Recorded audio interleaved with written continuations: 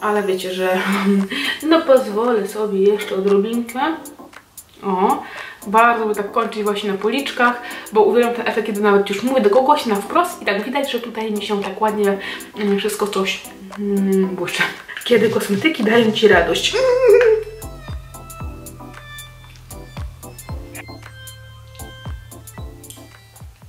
Ciepła.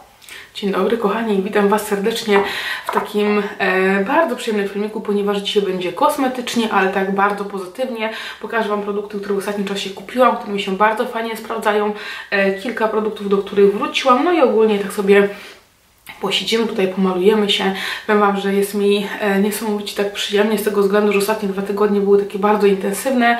E, dwa tygodnie temu byłam w Polsce, e, dużo się działo, rozchorowałam się, w sumie cały czas jestem taka jeszcze niedoleczona.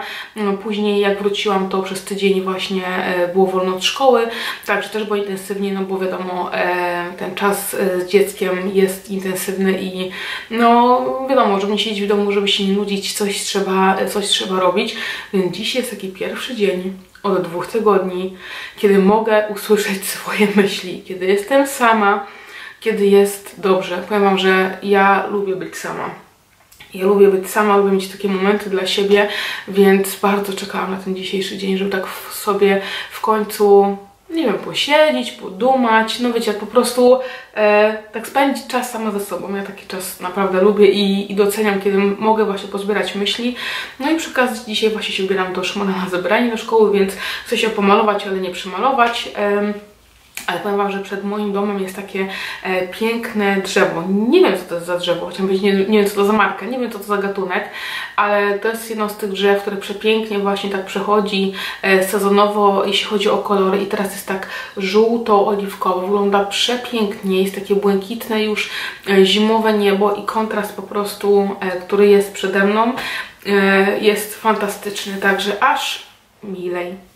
Dzień dobry, dobra, kochani, e, pijmy tą kawę póki ciepła, także mam nadzieję, że Wy również e, macie możliwość tak sobie mm, zwolnić tempo, usiąść, po prostu napić się kawy, zrelaksować, może właśnie to robicie teraz ze mną, także e, Wasze zdrowie, jak to się mówi, Wasze zdrowie, bo mojego szkoda.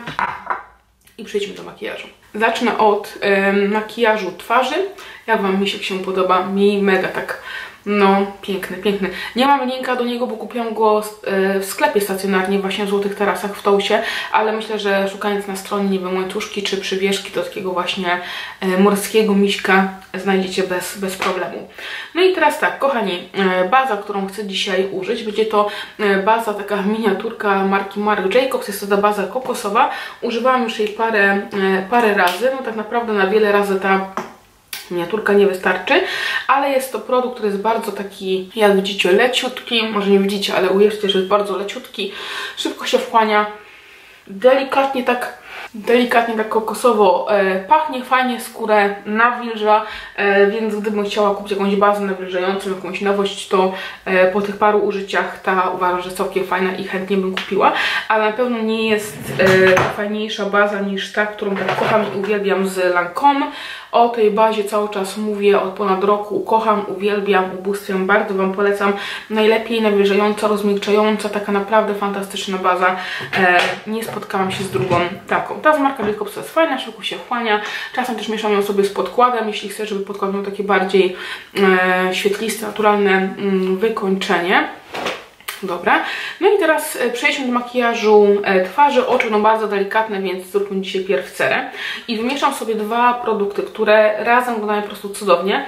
E, jest to podkład marki Fenty, to jest ten rozświetlający numerek 150, odcień 150 i wymieszam go z bazą marki Shiseido i dokładnie ten produkt się nazywa Illuminator, odcień Pure Gold.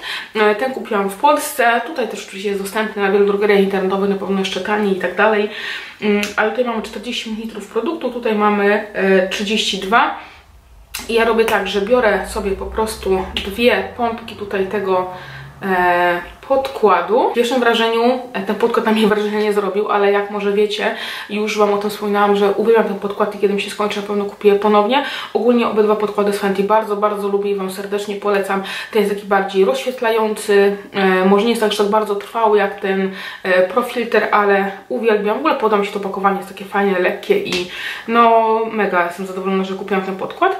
No i teraz tak, baza ta rozświetlająca. Można jej używać właśnie na całą twarz, bo też tak robiłam, albo myśleć z podkładem. Kiedy nakładam ją tak punktowo na podkład jako rozświetlacz, to nie jest takiego efektu jak na przykład w tym produkcie od Charlotte Pro Filter. Tak muszę patrzeć, która godzina, bo właśnie to dzisiaj zebranie jest, ale zdążę na pewno na spokojnie.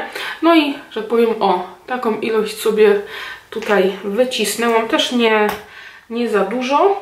I teraz sobie wszystko wymieszam pędzelkiem.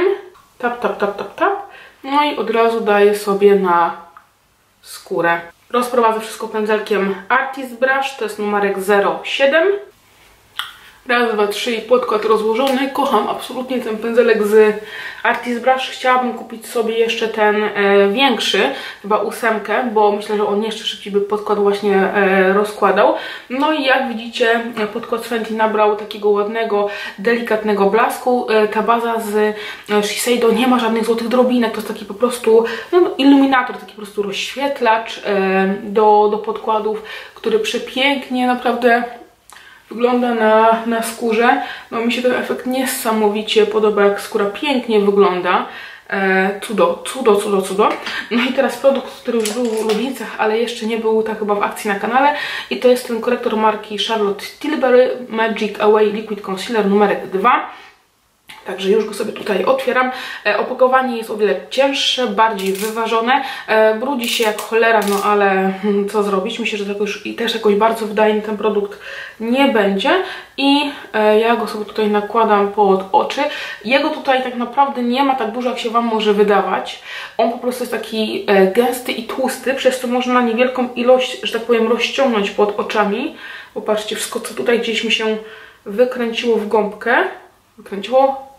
No wykręciła powiedzmy, mogę sobie nałożyć w miejsca, które lubię, czyli robię takiego e, Indianina.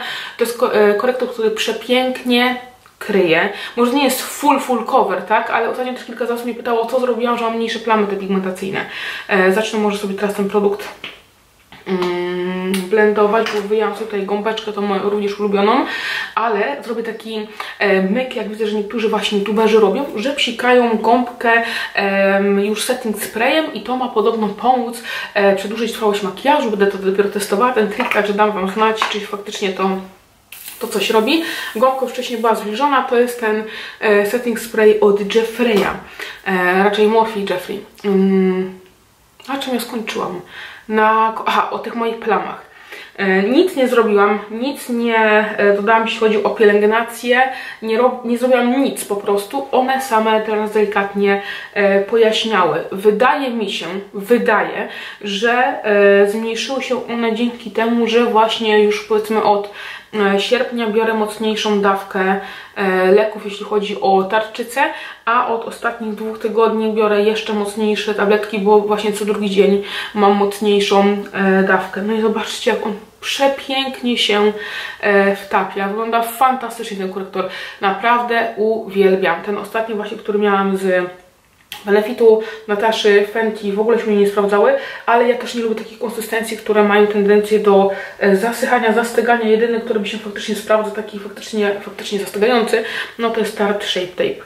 No i patrzcie, raz, dwa, trzy, gąbeczką fajnie wszystko już jest rozłożone. No jestem ciekawa, czy ten trik właśnie z psikaniem gąbki faktycznie coś coś da. O, pięknie to wygląda. I tego samego korektora użyję tutaj sobie na e, powieki i to będzie moja baza podcienie, ponieważ on bardzo fajnie przykrywa to moje wszystkie żyłki, e, zaśnia, radzi sobie z nim tutaj bez, bez problemu, więc tylko sobie docisnę gąbką i lubię właśnie gąbkę za to, że można bardzo blisko linii rzęs e, nią dojechać, ale nie niszczymy przy tym swoich no, rzęs doczepianych. Więc nic nie zrobiłam, jeśli chodzi o te plamy, po prostu one mi zniknęły, bo ostatnio miałam bardzo dużo wiadomości od Was, że e, Ania, używasz korektora, bo nie widać Twoich plam, one gdzieś tam minimalnie jeszcze przebijają, ale na pewno nie tak, może się to przyciemnie, bo teraz jest taki kontrast trochę. E, one delikatnie przybijają, ale pewnie nie aż tak mocno jak w wakacje. Przypudruję się e, pudrem z Maka, który gdzieś tutaj był wyjęty. O, to będzie również ulubieniec ostatnich naprawdę 3 miesięcy. To jest puder mineralny e, w odcieniu medium. E, powiem Wam, że naprawdę używam go codziennie, a zużycie jest naprawdę niewielkie, więc jest on o wiele bardziej wydajny niż mój ukochany Next to Nothing. E, czego szukam? Pędzelka. Uwielbiam właśnie pod oczy Glam Shop, to jest T110, czyli ten pędzel z wiewiórki, taki języczek bardzo fajnie wyprofilowany. No i dobra, i teraz tak. Mm, zróbmy brwi, bo jesteśmy takie e, blade, blade, płaskie i e, no śmiesznie teraz to wygląda. Więc ja sobie teraz nałożę e, cień z paletki Kobo. Bardzo Wam tę paletkę polecam. Naprawdę jest rewelacyjna. Formuła jest tak fajna tych cieni i kosztuje chyba niecałe 30 zł ta paletka, dokładnie pamiętam. I to się dokładnie nazywa paleta cieni do brwi Brown Bar. Mm, marka Kobo i ja lubię używać właśnie tego ciemniejszego kolorku. Także wypełnię sobie, że tak powiem, 3 czwarte brwi, a sam przód wypełnię pisakiem z Maka w odcieniu taupe. E, zrobię to oczywiście bez gadania, żeby było szybciej. O, pokażę może z bliska, jak te produkty wyglądają. Jeszcze ich na razie nie, e, nie wyczesuję. Mm, I pod koniec makijażu przyczeszę to jeszcze żelem z Benefit. Także bardzo podoba mi się właśnie, jak te brwi wyglądają z tymi produktami. Ładnie. Dobra, kochani, brwi zrobione. Delikatnie jeszcze sobie tutaj przyczesuję. Później jeszcze utrwalę wszystko żelem. Tutaj jakaś mi się kropa zrobiła. Ale to można, o, bez problemu delikatnie wyczesać brew na miejscu. No i nadajemy sobie teraz trochę koloru, bo tak dosyć jest e, szaro-buro i ponuro. I e, chcę Wam przypomnieć właśnie mojego ogromnego ulubieńca, to produkt marki Marc Jacobs, prestiżowo. E, I to jest Fantastic 104 e, czyli przepiękny, bardzo uniwersalny odcień bronzera i nałożę go pędzelkiem marki Hakuro, to jest ta seria K, numerek 101, także delikatnie sobie tutaj odbijam produkt na pędzel i zacznę go aplikować. Jeśli macie ciężką rękę, to najbardziej Wam polecam pędzelki typu Skunks, na przykład taki Zoewy 125 Stippling mm, do kupienia na przykład na Beauty Bay.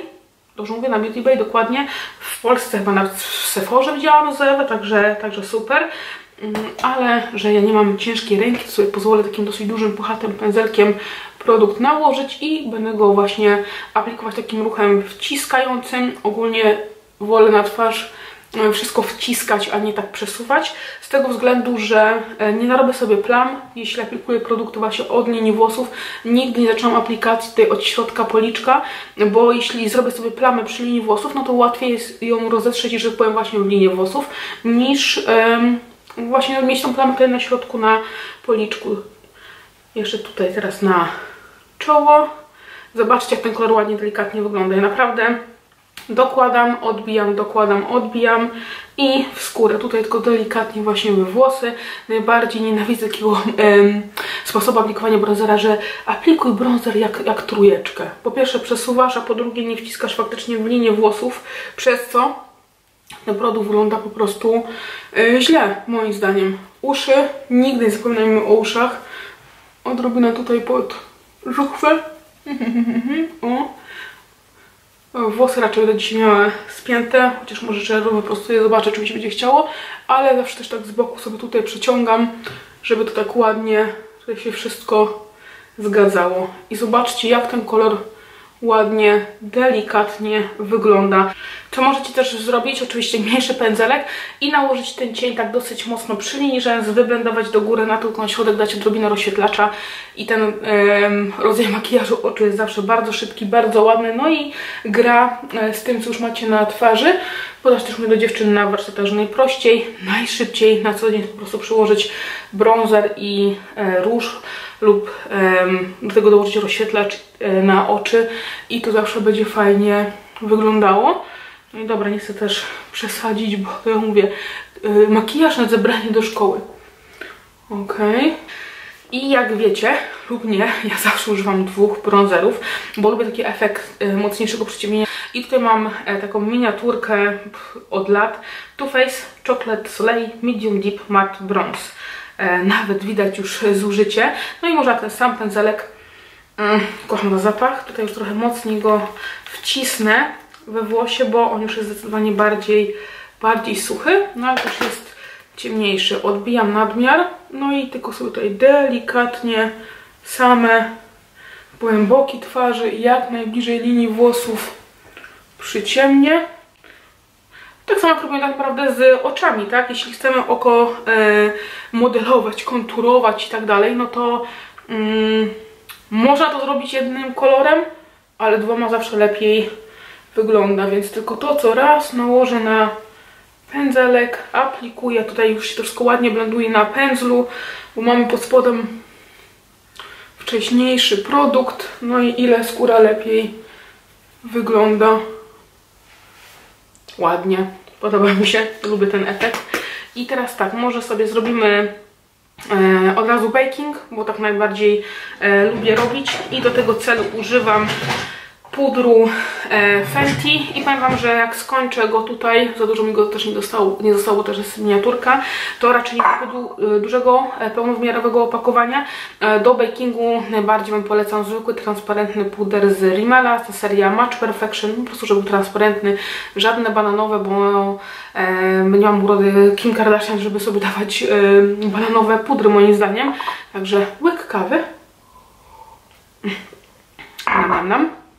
I teraz tak, zawsze kiedy mamy takie pudry ze solniczką, to kiedy tak sobie wstrząśniemy, no to przy odkręceniu ten produkt już jest u góry. Takie tam mądrości. Gąbeczka.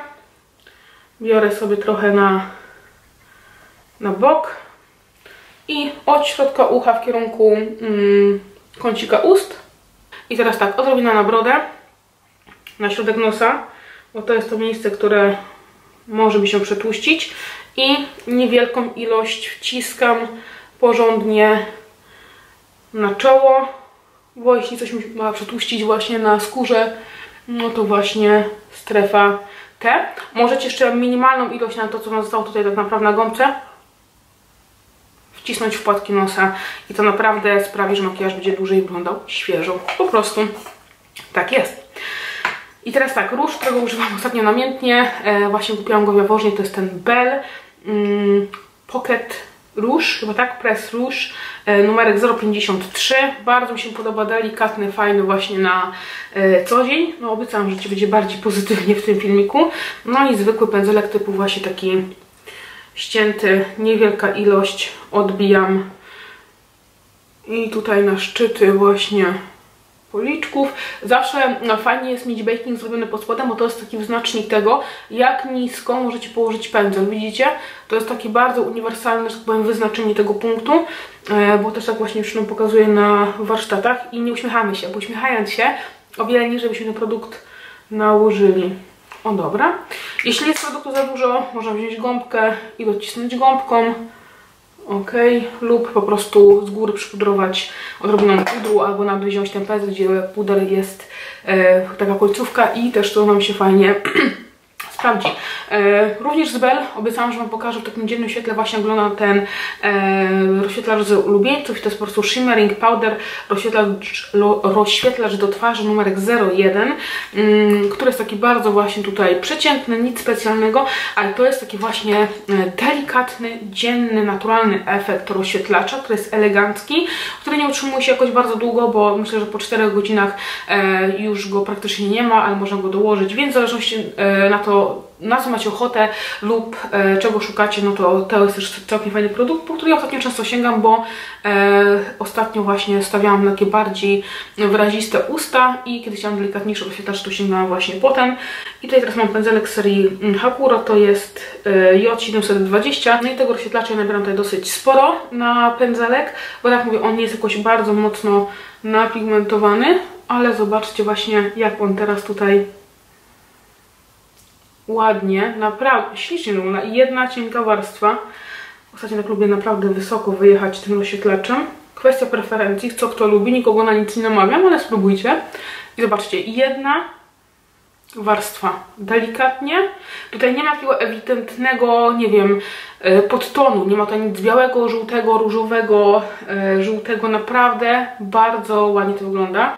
Ale wiecie, że no pozwolę sobie jeszcze odrobinkę O, bardzo by tak kończyć właśnie na policzkach, bo uwielbiam ten efekt, kiedy nawet już mówię do kogoś na wprost i tak widać, że tutaj mi się tak ładnie mm, wszystko coś mm, błyszczy. Ok. O. Pięknie to wygląda. I to jest fajny, tani, drogeryjny rozświetlacz. O, proszę bardzo. Jeśli uznacie, że trochę za wysoko, czy trochę za nisko, można wrócić trochę do pędzelka, gdzie był aplikowany róż, docisnąć i pięknie to wygląda. Pięknie. Tylko tak mówię, nie jest to jakoś bardzo trwały produkt.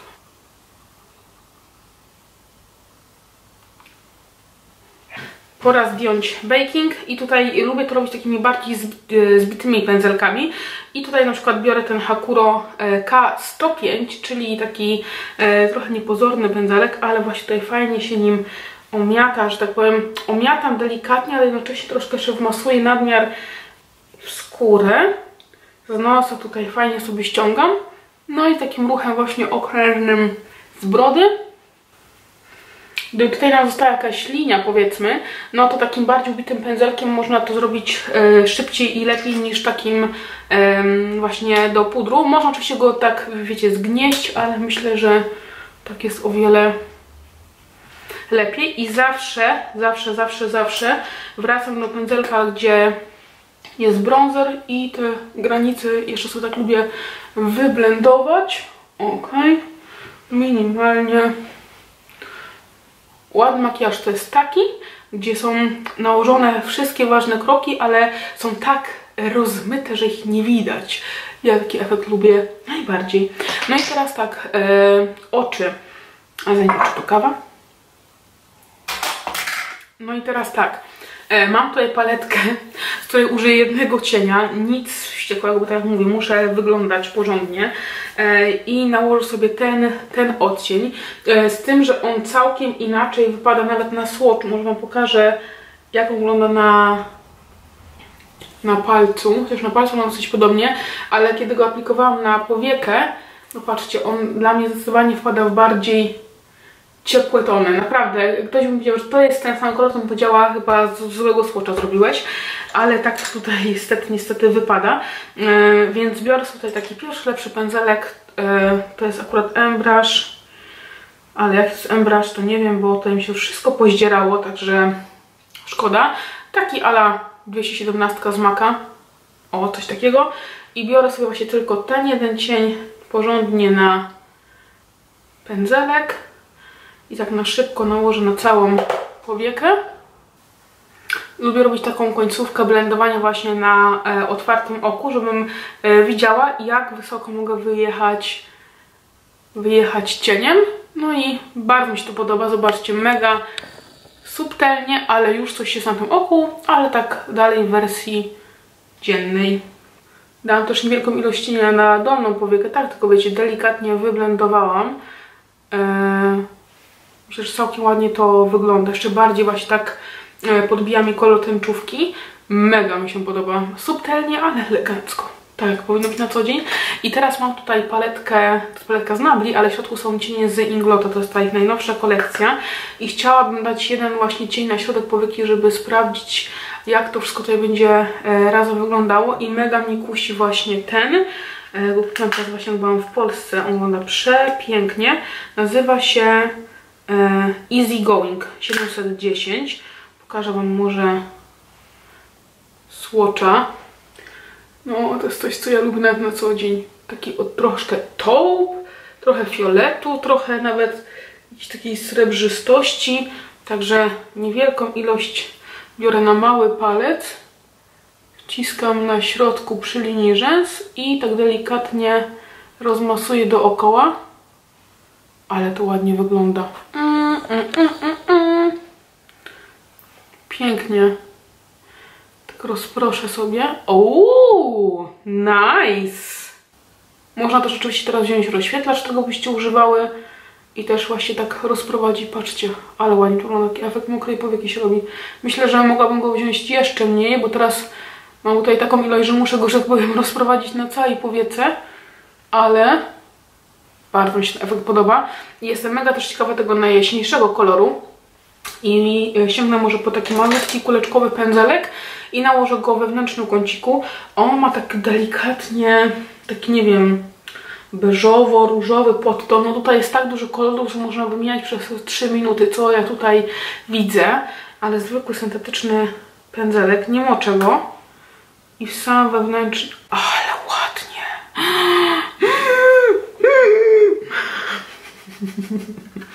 Kiedy kosmetyki dają Ci radość. Czekajcie, to się nazywa e, Cheers 705, czyli na zdrówko. Kiedy znosimy toast, to tak mówimy. Ładnie! Ostatnio też widziałam taki trik, że dziewczyna dawała białą kredkę, fajnie tak wyblendowała właśnie w wewnętrznym kąciku, taką właśnie fałkę robiła i na to dawała właśnie rozświetlacz. Muszę kupić jakąś fajną taką e, białą kredkę i spróbować. I teraz może utrwalę właśnie wszystko e, tym produktem właśnie marki Morphe. E, jeszcze żel sobie naszykuję i coś na usta.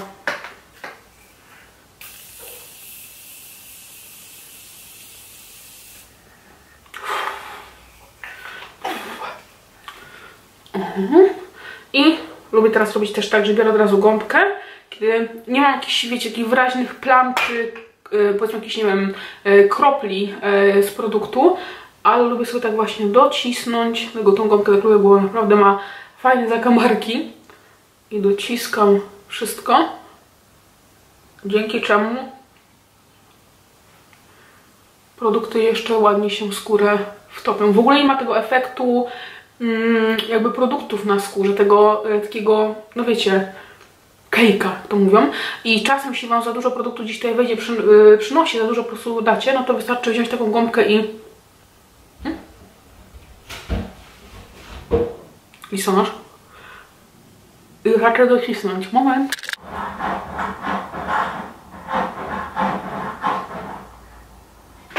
Ostatnio też jak widzieliście, trochę inaczej maluję e, usta. Pierw sobie porządnie wypełnię na przykład całą konturówką. Mam na sobie teraz e, odcień SOR z Maka. Nie, gdzie rzuciłam? To po prostu jest zwykła konturówka. Później obrysowuję sobie wszystko dookoła korektorem. Tutaj akurat jest e, Revolution 6,5 odcień. E, precyzyjnie wszystko doklepuję, żeby nie było tych e, granic. A na sam koniec biorę jeszcze właśnie pędzelek, którym doklepywałam korektor. I same granice tak delikatnie blenduję.